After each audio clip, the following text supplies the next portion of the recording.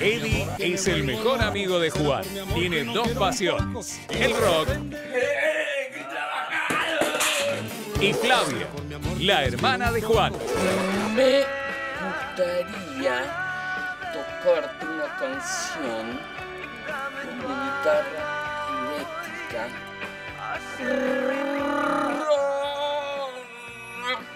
Así que le querés cantar una canción.